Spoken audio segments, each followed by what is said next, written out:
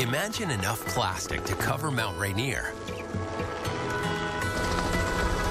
What if we could keep that much plastic waste out of landfills each year?